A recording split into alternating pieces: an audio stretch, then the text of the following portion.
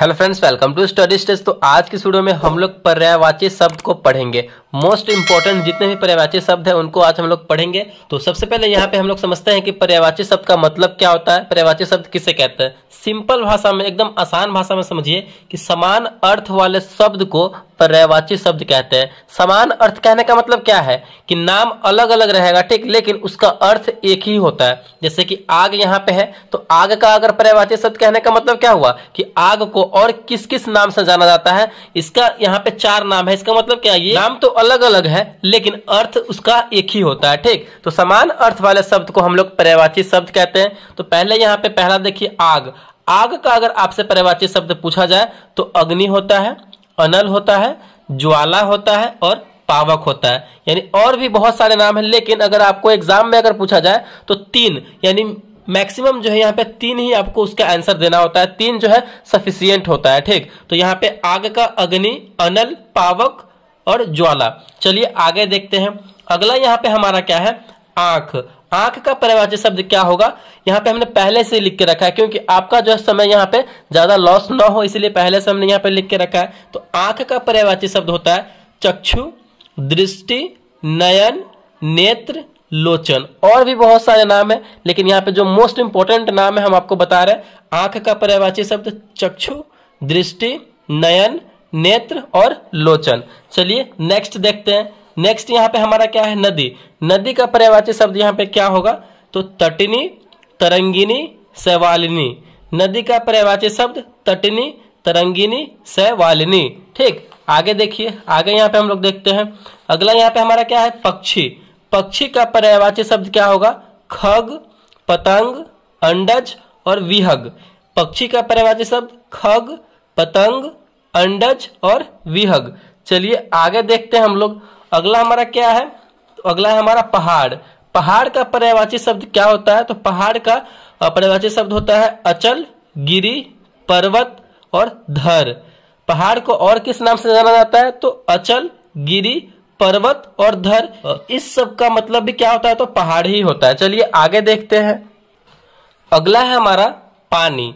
पानी का पर्यावाची शब्द क्या होता है? तो जल नीर अमृत अम्बु पानी को और किस नाम से जाना जाता है? तो पानी का और दूसरा नाम है जल है नीर है अमृत है और अंबु है। और भी बहुत सारे नाम है लेकिन इंपॉर्टेंट नाम को समझिए आप। अब नेक्स्ट हमारा यहाँ पे क्या है अगला? आ, अगला है पृथ्वी।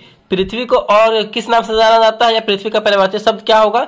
तो भू भूमि धरा और धरती होता है पृथ्वी का पर्यावाची शब्द। याद करते चलिए आप अच्छे तरीके से। अगला देखते हैं हम लोग। अगला है हमारा घर। घर का पर्यावाची शब्द क्या है? तो भवन, आलय, आगार, गृह और निकेतन। ये हो गया घर का हमारा पर्यायवाची शब्द।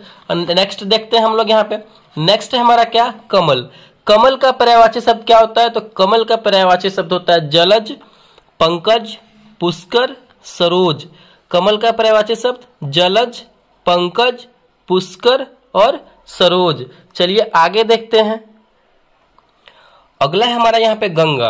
गंगा का पर्यावाची शब्द क्या होता है? तो गंगा का पर्यावाची शब्द होता है देव नदी, भागीरथी, मंदाकिनी। ये सब जो है गंगा के और दूसरा नाम है, ठीक? इसका मतलब ही क्या होता है? तो गंगा।